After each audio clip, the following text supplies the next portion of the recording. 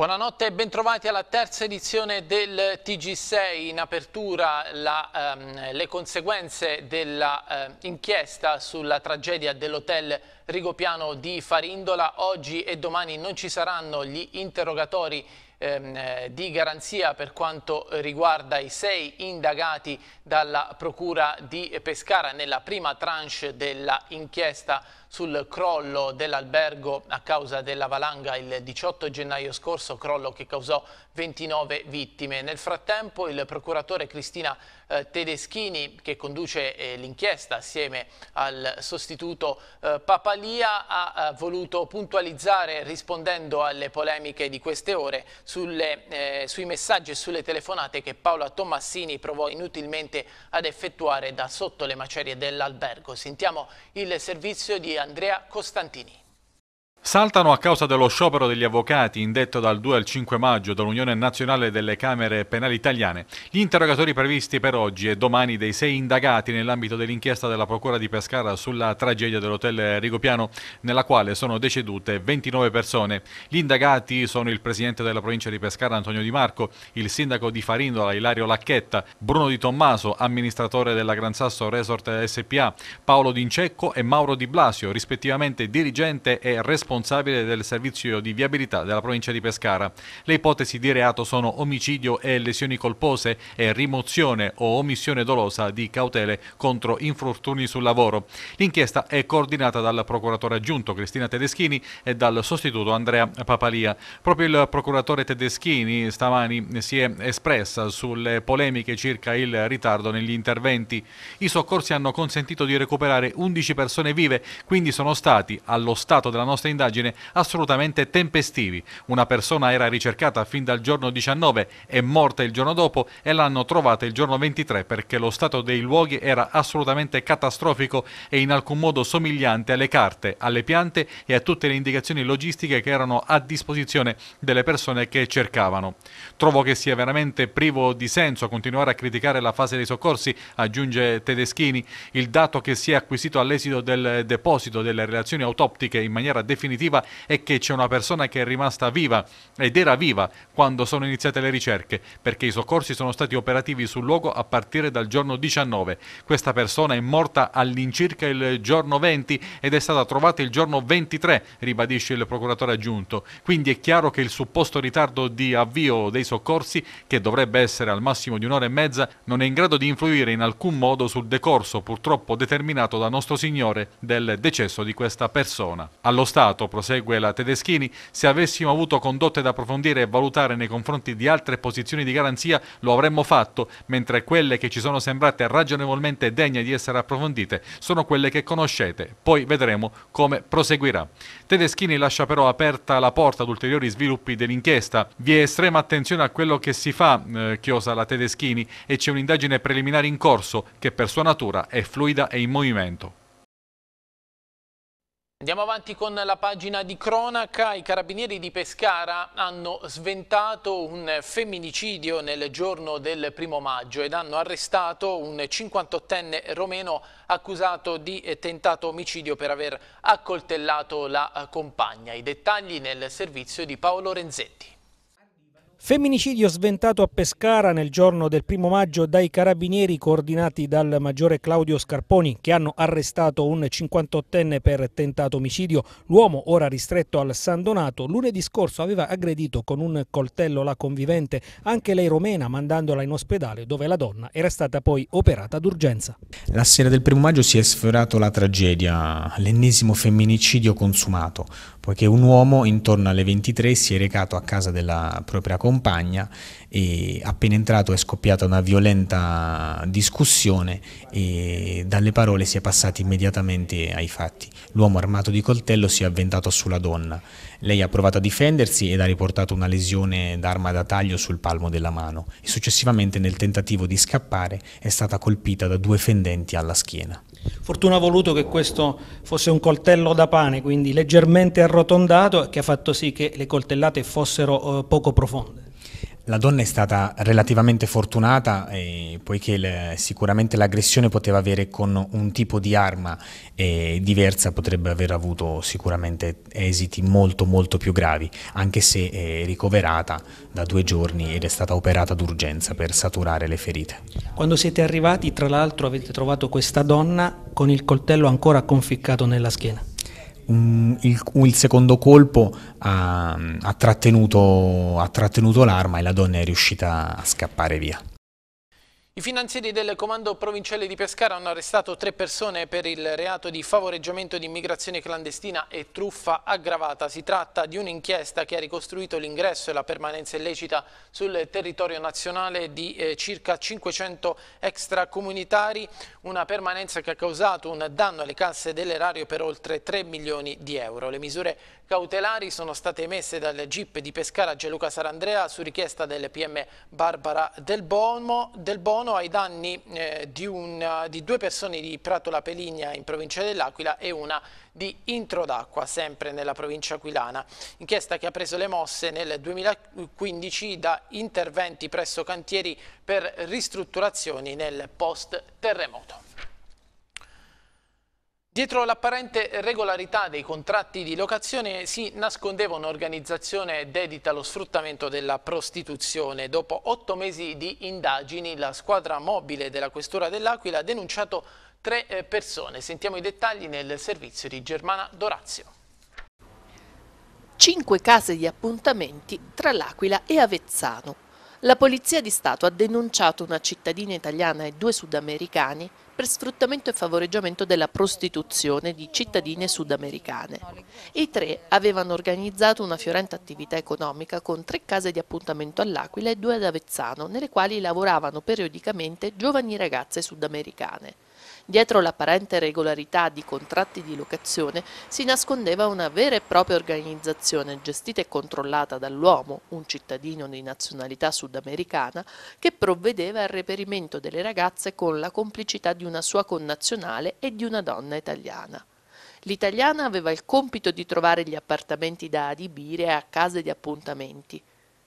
La donna sudamericana si presentava poi come coniuge dell'altro indagato per rassicurare i proprietari e facilitare così la locazione degli appartamenti. La donna poi provvedeva personalmente al pagamento del canone di affitto attraverso bonifici bancari a suo nome.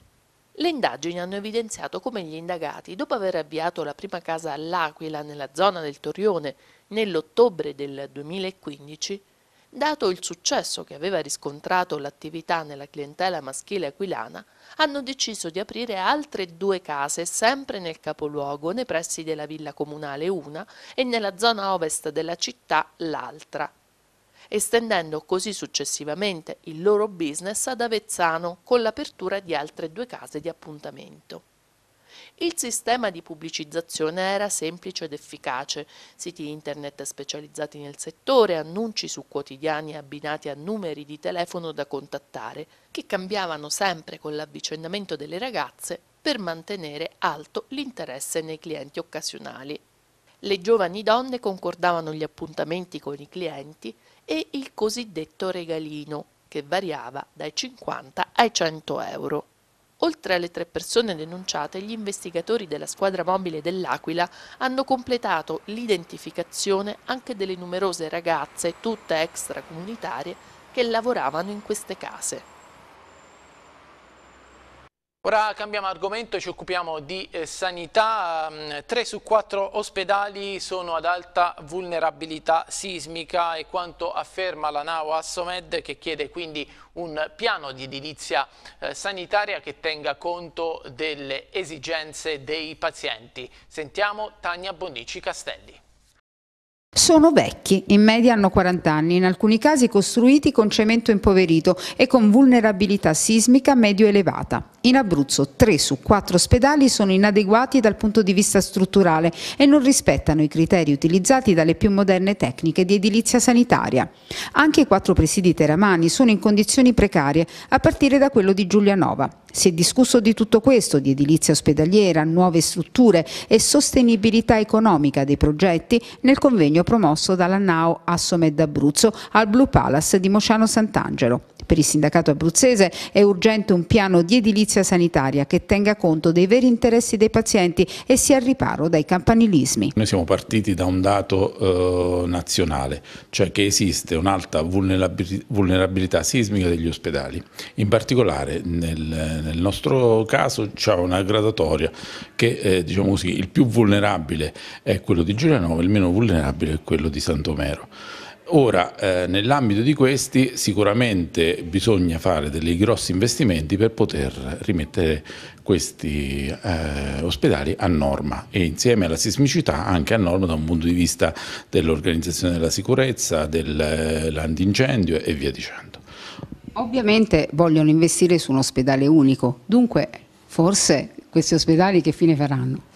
Allora, il ragionamento è, è, questo, se bisogna investire su ospedali che hanno in media 40 anni e per ottenere delle situazioni eh, intermedie e non all'eccellenza, perché poi a fianco alla eh, caratteristiche strutturali bisogna anche mettere quella che è da un punto di vista dell'organizzazione, cioè oggi eh, la medicina è cambiata, ci sono altre modalità di ehm, agire e quindi occorre trovare delle soluzioni nuove. E noi per questo diciamo a questo punto riuniamo almeno tre ospedali in uno lasciando un presidio che è quello probabilmente di Santomero e penso che sia la cosa più giusta, che è quello a norma che per metterlo in sicurezza eh, occorre meno, meno spesa, e tra l'altro anche per una posizione strategica nel nord dell'Abruzzo e in questo modo ricostruiamo una struttura unica nuova di 600 posti letto, sicura e sicuramente pronta a mh, rispondere a tutte le esigenze da un punto di vista della salute di tutto il territorio mh, teramano. I medici chiedono eh, di rispondere a quelli che sono i bisogni della popolazione. In questo momento il bisogno è di ottenere un ospedale sicuro, sicuro per, anche per gli operatori che vi lavorano e occorre che questo eh, sia collocato in una modalità tale che sia equidistante alle eh, varie popolazioni che sono interessate. Ed ora eh, la politica, soddisfazione nel Partito Democratico per l'esito delle primarie e per l'affluenza alle urne, primarie di domenica scorsa che hanno riportato in sella alla guida del eh, partito il segretario uscente Matteo Renzi. C'è stata la maggioranza anche in Abruzzo netta eh, della mm, mozione Renzi, un 65% che vi soddisfa? Sì, è un ottimo risultato, sostanzialmente in linea con il risultato nazionale, che rappresenta intanto un fatto importante per la partecipazione che è stata notevole qui in Abruzzo, siamo sugli stessi livelli del 2013 e poi una grande spinta per il rilancio del Partito Democratico, per il cambiamento e quindi Matteo Renzi che ha ricevuto da questo punto di vista un mandato pieno da parte dei nostri elettori. Dopo queste primarie a livello regionale eh, cosa accadrà all'interno del PD? Lavoreremo più di prima per cambiare l'Abruzzo, per governare bene come stiamo facendo, avremo una spinta in più che ci verrà dal sostegno della leadership di Matteo Renzi che c'è stata sempre in questi anni, sia quando era a capo del governo sia adesso che sarà leader del PD e sarà il nostro candidato per le prossime elezioni.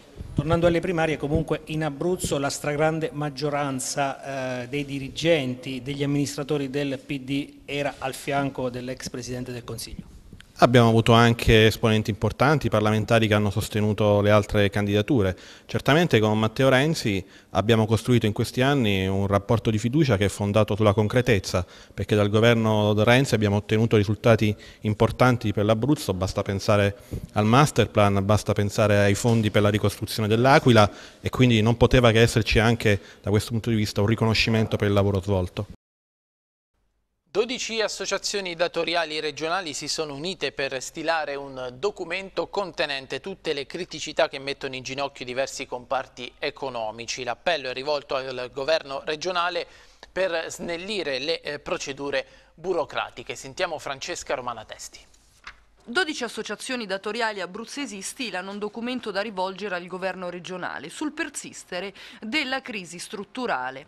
Dati allarmanti che dal 2008 ad oggi registrano l'aumentare della disoccupazione e la cessazione di migliaia di piccole imprese. L'hanno chiamata avvertenza Abruzzo proprio a simboleggiare l'idea di una grandissima impresa che volge verso il fallimento. L'appello è quello di un intervento immediato e finalizzato a sbloccare tutti i nodi burocratici che fanno perdere tempo e soprattutto risorse risorse agli imprenditori di ogni settore. Siamo consapevoli che la Regione eh, non può fare tutto da sola, c'è una interconnessione col livello nazionale, quindi sicuramente la Regione deve rendersi protagonista nello scenario nazionale per meglio interpretare le esigenze del territorio. Lentezza burocratica, difficoltà di accesso ai bandi per fondi governativi, assenza di piani regionali di settore, politiche di internazionalizzazione, politiche attive del lavoro e ancora liberalizzazione dei servizi pubblici, riduzione progressiva e strutturale della fiscalità aggiuntiva conseguente l'extra deficit sanitario, un piano speciale per il turismo. Insomma un documento dettagliato di quelle che sono le necessità di 12 diverse associazioni di categoria. È il momento di far pesare in un confronto molto particolare e molto positivo la nostra posizione che rimane la spina dorsale del tessuto economico regionale. Le condizioni quali sono? Lo scenario economico in cui ci muoviamo ha delle particolari diciamo, difficoltà, però è anche vero che insomma, il tessuto imprenditoriale va salvaguardato e quindi da parte della Regione richiediamo una maggiore attenzione. Chiude una grande azienda, anche una piccola azienda, mille dipendenti, si scatenano tutti per risolvere la situazione. C'è questa moria di imprese e pare che nessuno si muova. È da tempo che stiamo portando avanti questa eh, vertenza Abruzzo, chiediamo l'intervento immediato delle forze politiche regionali e nazionali, altrimenti, altrimenti faremo le nostre brave agitazioni. Dal 2010 al 2016 5.834 imprese nel settore dell'agricoltura in meno, 2.528 nel settore manufatturiero, 3.338 nelle costruzioni, 5.191 nell'artigianato, 6.041 nel commercio, 2.200 del turismo. Questo è un bollettino di guerra, il nostro più che un, un SOS è un grido d'allarme ed è l'ultimo avviso, perché qua si tratta di centinaia all'Italia a Francavilla questa mattina si è svolto il sesto congresso Fistel CISL dedicato ai lavoratori delle telecomunicazioni. Sono 10.000 quelli sospesi tra precarietà e incertezza rispetto al proprio futuro lavorativo. Cifre in calo anche per le vendite dei giornali e per la pubblicità nell'emittenza pubblica e eh, privata. Sentiamo il servizio. Lavoratori delle telecomunicazioni tra precarietà e incertezza. La CISL presenta un quadro dei numeri che riguardano lavoratori e aziende di Abruzzo e Molise, analizzando difficoltà e nodi verso lo sviluppo. Con il turnover generazionale bloccato abbiamo le aziende che ci vanno in crisi. Noi ad esempio abbiamo grosse aziende che potrebbero assumere giovani, però hanno oggi in organico eh, delle persone che stanno lì per lì per raggiungere la quiescenza, però con le nuove regole difficilmente riusciamo a fare politiche di svecchiamento. E a questo si aggiunge il fatto che queste nuove aziende nel campo della TLC hanno la necessità di implementarsi dal punto di vista tecnologico e queste maestranze oggi diciamo eh, molto su con l'età difficilmente sono così diciamo flessibili a eh, riconvertirsi professionalmente per imparare queste nuove tecnologie. I lavoratori coinvolti nelle TLC tra le due regioni sono all'incirca 10.000 10 dipendenti se, se consideriamo anche nel settore i call center e gli appalti telefonici.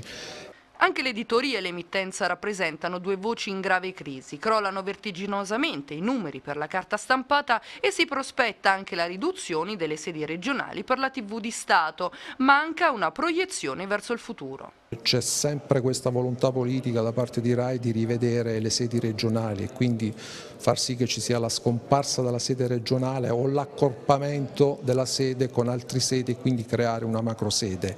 E quindi da questo punto di vista bisogna vedere invece come rafforzare le sedi regionali con, anche con delle produzioni locali che caratterizzano il territorio e quant'altro. Per quanto riguarda eh, i quotidiani anche questo è un settore molto in crisi negli ultimi anni perché c'è stata poca raccolta pubblicitaria, eh, l'impaginazione è venuta meno, eh, si vendono meno quotidiani. Continuiamo a parlare di economia, quest'anno spegne 80 candeline lo stabilimento della Saila Silvi Marina, un traguardo importante per il marchio con l'azienda che ha deciso di festeggiare assieme alla comunità ehm, teramana attraverso un'estate di eventi eh, tematici a base di eh, liquirizia. 80 anni fa tutto è iniziato dalle radici di liquirizia, le stesse che oggi arrivano all'interno di camion provenienti dalla Calabria e che un tempo invece si raccoglievano nelle campagne nei dintorni di Silvi. Così nel 1937 da un'idea di Angelo Barabaschi è nata la Saila, acronimo di Società Anonima Italiana Liquirizia Abruzzese, che negli anni da piccola azienda è diventata una multinazionale a seguito dell'ingresso nel gruppo svedese Cloetta. Lo stabilimento di Silvi Marina però resta centrale nella produzione dei prodotti a base di liquirizia e menta ed è per questo che l'azienda ha deciso di festeggiare il suo ottantesimo compleanno condividendo la festa con la comunità teramana e abruzzese. Un'estate di eventi a Silvi in cui ci sarà anche la possibilità di visitare lo stabilimento e ripercorrerne la storia attraverso una mostra fotografica. Noi abbiamo pensato di accomunare queste due cose, cioè eh, l'evento Gli 80 anni è chiaramente una data, come dicevamo, storica. Dopodiché eh, appunto per, per, festeggiare vogliamo aprire le porte allo stabilimento, eh, ci sarà uno spazio espositivo per eh, descrivere quello che è la liquirizia, quindi il perché Saile è qua, perché Saile è qui perché qui si raccoglieva la liquirizia, quindi qui nei dintorni si raccoglieva la liquirizia, la liquirizia nei primi anni del Novecento, quindi eh, vogliamo far capire, far conoscere alle persone la storia di questa società, di questa azienda, la storia della liquirizia e la, la particolarità di questa azienda. Questa azienda è l'unica unica in Italia per quanto riguarda la liquirizia che è in grado di estrarre in modo naturale la liquirizia dalle radici, radici italiane. Vendite online in aumento, i dati dell'Istat certificano la crescita del commercio elettronico. Confesercente Abruzzo apre lo sportello SOS Web. Vediamo di cosa si tratta. Un soccorso web per gli esercenti che ancora non hanno sperimentato le opportunità della rete nel mercato globale delle vendite online. Il servizio è messo a disposizione da Confesercenti Abruzzo che dopo tante denunce sulla crisi vissuta dal commercio mette in campo nuovi strumenti più al passo con i tempi. Innanzitutto capire se nel settore di competenza di ogni singola attività c'è spazio per poter iniziare un'attività online, quindi una vendita online. Quindi noi in questo momento abbiamo attivato questo sportello eh, che sarà attivo attivo sempre, naturalmente su prenotazione, dove dei tecnici eh, da, valuteranno se eh, il prodotto che vuole essere venduto online ha quelle caratteristiche utili per creare un margine valido per l'azienda. Un'iniziativa che nasce da quale tipo di richiesta? Nasce dal fatto che molti hanno innanzitutto paura di entrare nel web perché lo vedono ancora come uno strumento eh, di difficoltà, di, quindi con difficoltà anche di accesso e poi perché eh, non vogliamo creare le false aspettative eh, su quello che il web può dare. Il pool di esperti in e-commerce e sviluppo web promette un'attenta analisi delle opportunità tra i numerosi canali disponibili in rete così da far coincidere domande e offerta, mercato, territorio e settore specifico. Prima di tutto faremo un'analisi del core business aziendale e vedremo l'impatto che potrebbe avere l'azienda esplosa nel web. Subito dopo valuteremo tutte le opportunità che ci sono sui diversi canali e se ci sono le condizioni iniziali per cui è possibile affermare la propria presenza su web, le percorreremo. A chi è rivolto questo servizio? Quali sono le aziende che possono chiedere il vostro intervento? Praticamente tutti.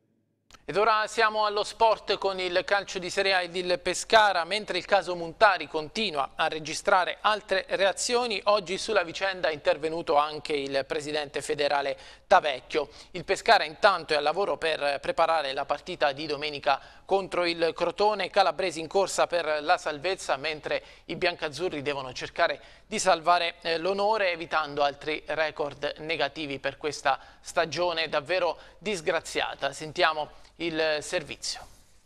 La vicenda Montari continua a far registrare reazioni. Oggi è stata la volta del presidente della Federcalcio, Carlo Tavecchio, che ha definito esecrabile quanto accaduto domenica scorsa al Sant'Elia di Cagliari, con particolare riferimento agli insulti razzisti di cui è stato fatto oggetto il centrocampista ganese.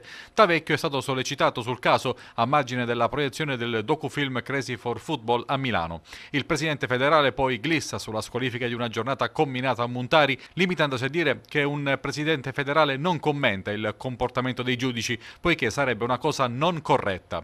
Abbiamo fatto in Italia un'attività di promozione, girando tutte le regioni con Fiona May.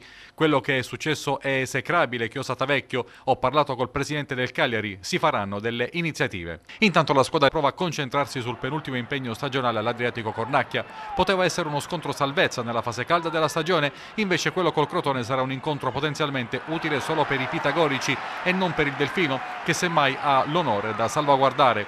Nel 2012 il Pescara si è fatto tristemente ricordare per un girone di ritorno da due punti. Quest'anno invece potrebbe battere il poco invidiabile record di numero minimo di vittorie, 3, e di punti nella Serie A a 20 squadre, 21, appartenenti entrambi al Treviso, stagione 2005-2006.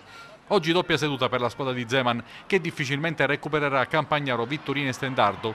Qualche problema anche per Nicola che sarà privo sicuramente degli squalificati Crisetig e Falcinelli e quasi certamente dell'ex Stojan dopo il malore accusato nei giorni scorsi. Proprio l'assenza dell'ex lancianese Falcinelli, obiettivo estivo del Pescara e pupillo del DS Leone, priverà il Crotone della principale bocca da fuoco della squadra e il peso dell'attacco ricadrà su Trotta in gol contro il Milan.